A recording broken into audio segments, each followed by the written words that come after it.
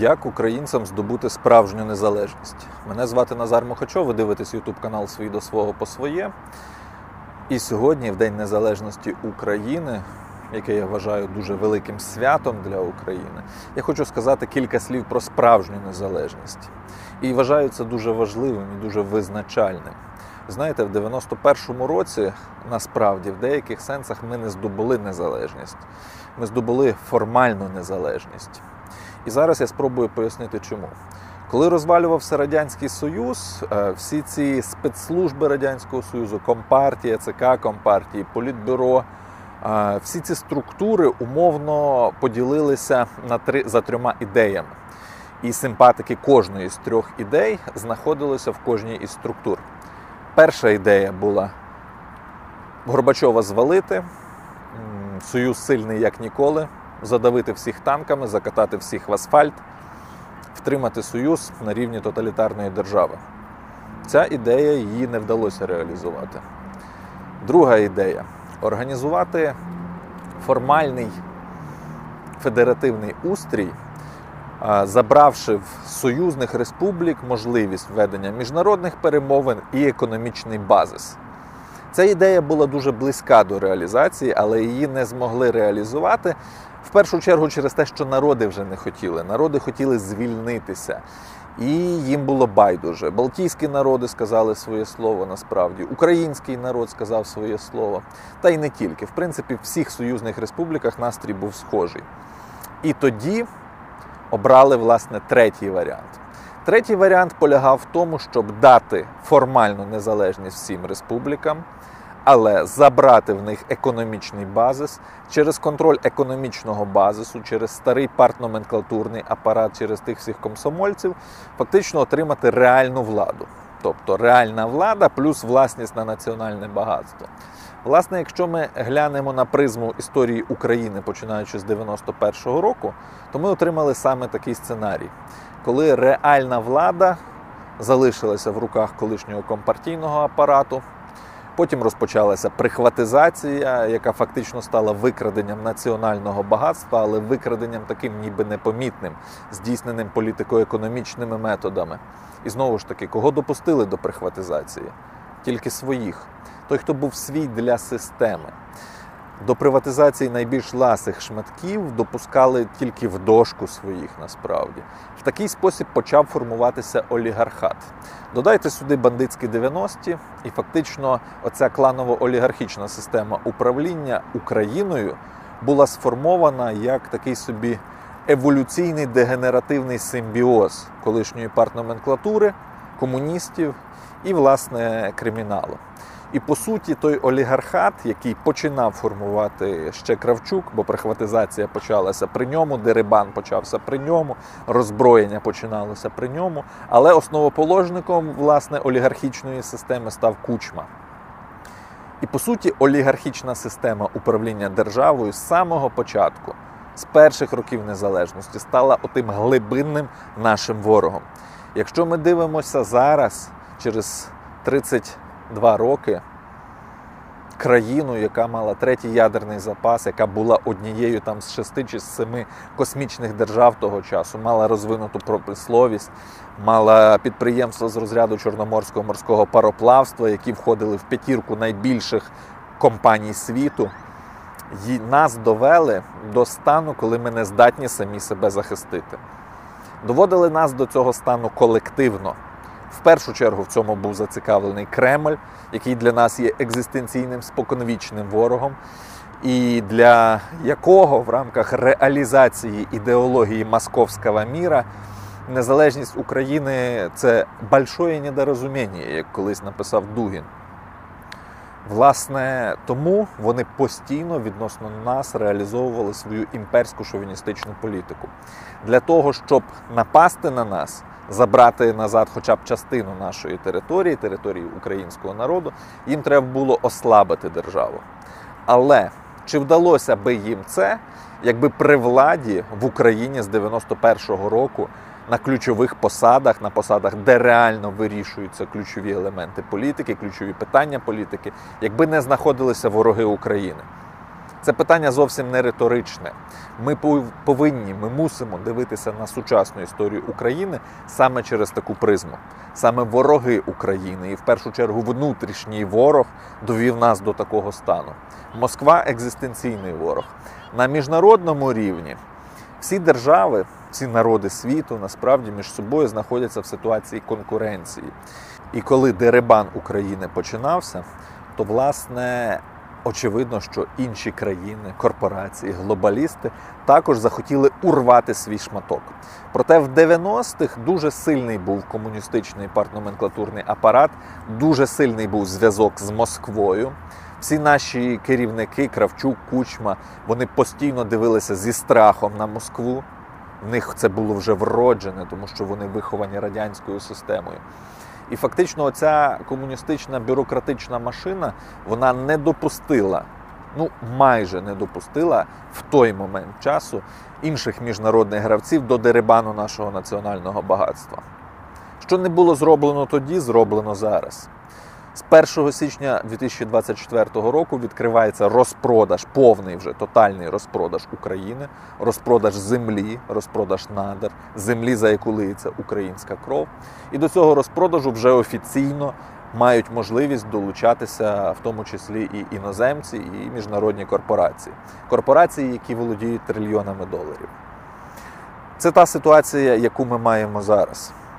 Тому, коли ми говоримо про справжню незалежність, ми повинні дуже добре задати внутрішньо собі запитання. А що таке справжня незалежність? Знаєте, з нагоди нашого сьогоднішнього свята я написав статтю, яка завтра вийде друком у нашій газеті Сурма. І я назвав її Останній день формальної незалежності. В нас із того стану формальної незалежності, в якому ми знаходимося зараз, є два виходи. Перший вихід або бути поглинутими, роздеребаненими, якщо всю нашу власність просто розхапають між собою різні міжнародні гравці. Другий вихід здобути справжню незалежність. В чому, на мою думку, полягає справжня незалежність? Ключовими є три статті Конституції: 5, 13 і 14. П'ята говорить нам, що український народ є носієм суверенітету і єдиним джерелом влади. Не просто джерелом влади, яке раз в 5 років голосує за то меню, яке нам вороги підсовують, і після того розходиться по домам і нічого не робить, а ще й носієм суверенітету, тобто вищою владою в країні, сувереном.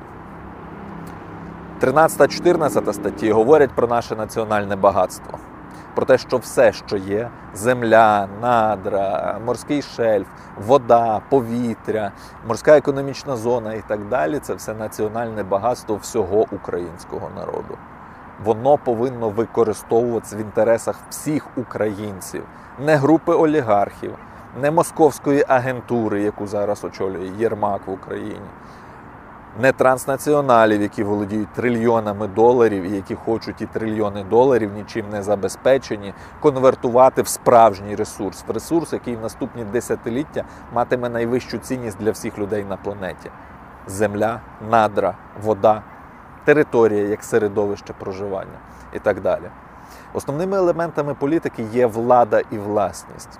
Справжня незалежність українського народу полягає в тому, що влада і власність в Україні повинні належати українському народу. Без цього ніякої справжньої незалежності бути не може. Тому нам потрібно навести лад з владою, нам потрібно повернути все, що вкрадене. Нам потрібно дуже чітко усвідомити, а чим ми володіємо, створити публічні реєстри власності, переглянути всі приватизаційні процеси, які відбувалися, тому що це було викрадення, це було пограбування українців, але пограбування зроблене такими, знаєте, політико-економічними методами. От воно нібито для багатьох не зрозуміле, тому що ну отак там до тебе залізли в кишеню чи залізли в твій будинок, щось в тебе вкрали. Ти розумієш, що це злочин. А тут всякі продажні депутати в Верховній Раді створювали законодавче підґрунтя, відповідно до якого нас всіх деребанили. Нас всіх грабували. Одну з найбагатших країн Європи і світу за ресурсним потенціалом довели до найбіднішого стану в Європі. Ми живемо бідніше, ніж Молдові. І це було так ще й до повномасштабної війни, і навіть до московського нападу в 2014 році. Тому весь фокус нашої уваги повинен бути на владі і на власності. Саме в питаннях влади і в питаннях власності ми мусимо навести порядок. Як це зробити? Будь-які гасла мають сенс тоді, коли є сила, структура, організація, яка їх буде втілювати в життя. Мова йде саме про силу. Я вживаю термін сила, сила не просто так, тому що право працює тільки там, де є сила. Зараз в існуючому законодавстві ну, закони працюють так, як потрібно нашим ворогам. Для себе вони їх можуть не використовувати, закривати на, на, на них очі, а проти нас вони їх використовують на повну катушку.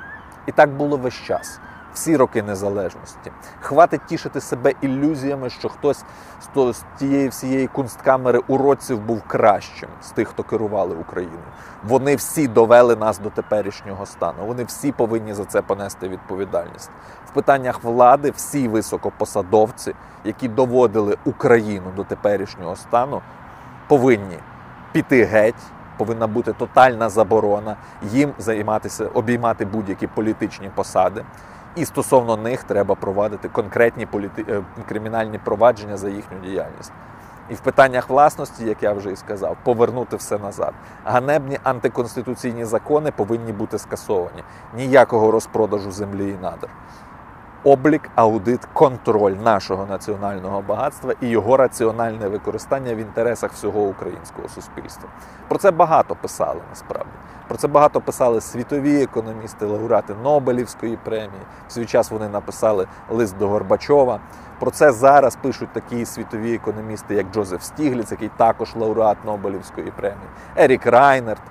Вони детально розкривають ті механізми, але, знаєте, вони такі стають широко відомі в вузьких колах, тому що все, що в нас відбувається в інформаційному полі, воно диктується ворогами України, які кажуть, ви маєте все розпродати. Землю продати, надра продати, себе продати, дітей своїх продати. Україна може та повинна стати нашою державою. Для цього ми повинні отримати тут владу і власність. І останнє в сьогоднішньому відео, що я хочу сказати.